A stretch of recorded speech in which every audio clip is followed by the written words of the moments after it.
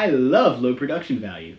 Hey, what's going on guys? So today I am announcing the beginning of my brand new 30 day 30 build series. The last series I did involved 40 Chi sales and I made a build video every single day for an entire month. It was a fantastic build series and you guys loved it and I loved it as well.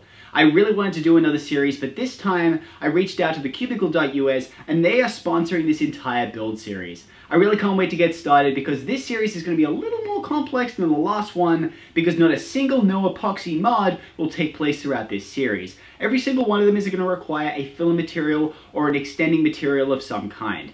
In this series, I'm going to be using epoxy sculpts, but I might try a couple of other things out throughout the series just to kind of see what I know and what I don't know.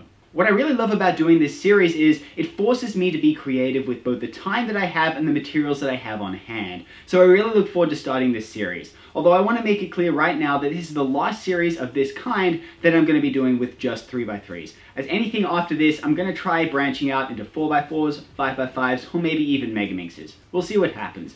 But for now, this series is going to be beginning on the 1st of August and it's going to continue through until the end of that month. I can't wait to get started and I'm really looking forward to it. But anyways, thank you guys for watching, and I'll see y'all next time. I didn't pay for these.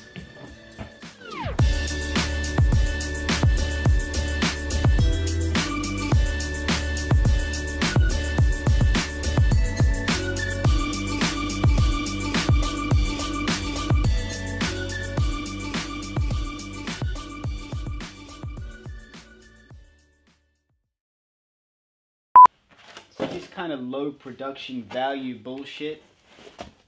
Yeah. Yeah, the cubing show, I'm, I'm looking at you guys. There you go, there's your low production value.